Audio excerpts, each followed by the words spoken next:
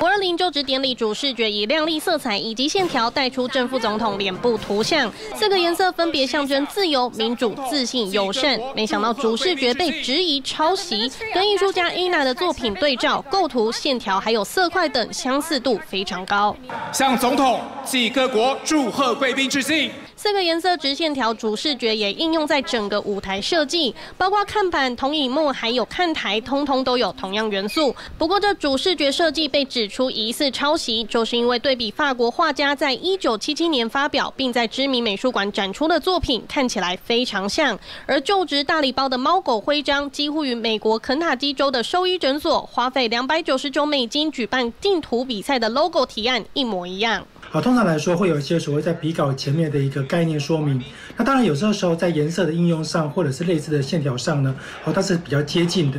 那只要能够在设计者清楚的说明情况之下，好，它似乎并不见得会造成所谓的一个抄袭的问题。到底是不是抄袭？专家强调要参考设计师的创作理念。而这次五二零就职活动主视觉设计师严伯俊发出声明，强调以共同交织出台湾的形状为理念核心。